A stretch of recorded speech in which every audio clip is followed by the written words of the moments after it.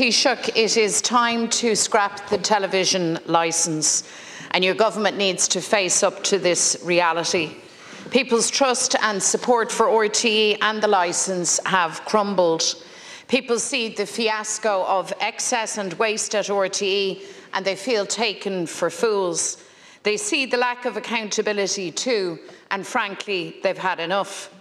This collapse in public confidence isn't helped by the revelation that Toy Show the Musical, which lost 2.2 million euros of taxpayers' money, hadn't received formal approval of the RTE board. And today, we have key figures behind that debacle still dodging accountability to the Oireachtas Media Committee. Now, there's arrogance. No wonder hundreds of thousands of households haven't paid the licence. People are voting with their feet. Taoiseach, do you seriously propose to chase those hundreds of thousands of taxpayers through the courts, to threaten them with a fine or even a custodial sentence, or will you act now? Surely we can all agree that the court's time and resources are better spent on more serious matters. By the way, not one of the top brass at RTE have been held to account for wasting taxpayers' money. So it is unthinkable that thousands of ordinary people would face court while highly paid executives get away scot-free having wasted millions. The collapse in public confidence presents a serious challenge in how we fund sustainable, vibrant and diverse public service media into the future, and yet governments all over the place. Instead of being straight with people, we've had mixed messages and contradiction to beat the band. Minister Catherine Martin says one thing, Paschal Donohoe another, Minister Michael McGrath yet another. You yourself have described the TV licence as outdated, that it belongs to a different time, and you're right, Taoiseach, so abolish it. Get on with your job. Minister Catherine Martin talks about not rushing this decision, but you've had the Future of Media Commission report on your desk for two years, and yet you plod along with a licence that is outdated and belonging to a different time. Not rushing is one thing, standing like a deer in the headlights is quite another. So we need a bit of common sense, a bit of cop on here. The television licence should be scrapped and direct exchequer investment should be put in place to fund public service media. That's what the Media Commission found. That's what's contained in Sinn Féin's motion tonight. Den fphobal tar éis tiite as a chéile den ceadúnas telefíe. Ba ceart deire a chur leis an telefíe agus stád ciiste a chur ina áit chun man a go hin bhúnathe. Our proposal to be voted on tonight represents the best approach in delivering a sustainable and successful future for public service media. It's also the fair approach for households and for families. This is a positive way forward and it's certainly not something that should divide the Dáil. So government must end the merry-go-round of dither, of delay and contradiction. Now, Taoiseach, is the time for a decision. So will you scrap the TV licence and replace it with exchequer funding to ensure that better future for public service media. Thank you, Deputy McDonald. Uh, Taoiseach, please. Thanks, um, thanks, uh, thanks very much, Deputy, and um, happy St Valentine's Day, um, and to everyone in the House.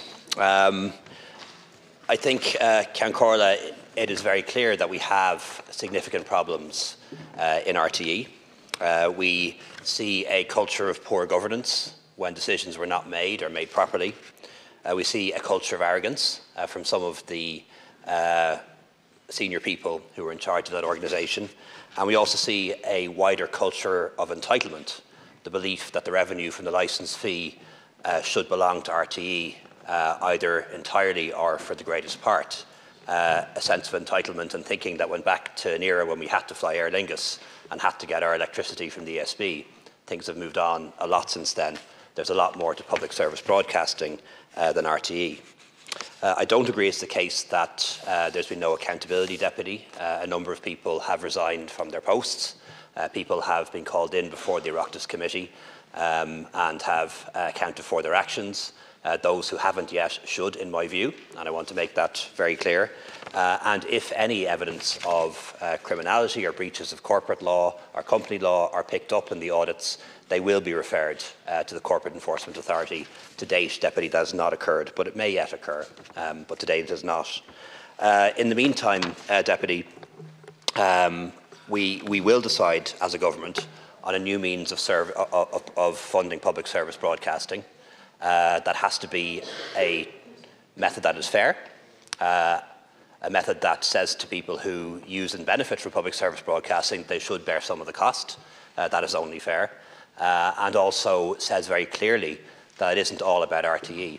Uh, it's also about other forms of public service broadcasting, including that provided by local radio and local media, reporting on council meetings, court reports, for example, uh, and also more widely supporting um, bursaries for journalists, uh, encouraging uh, international correspondence, uh, something we don't have enough of um, when you look at our, our, news in Ireland.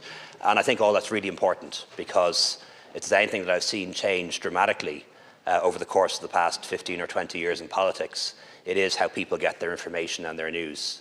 Uh, and more so than ever, reliable sources of information are required because people simply cannot trust uh, news and information that they see online. Uh, and unfortunately, so many people do. And that's the to the detriment of our democracy, uh, not here, not just here, but also abroad. In relation to the TV licence deputy, it remains the law. Uh, the money doesn't all go to RTE. Some of it goes to the Public Service Broadcasting Fund. Um, it goes to Irish language programming, goes to children's programming, goes to news.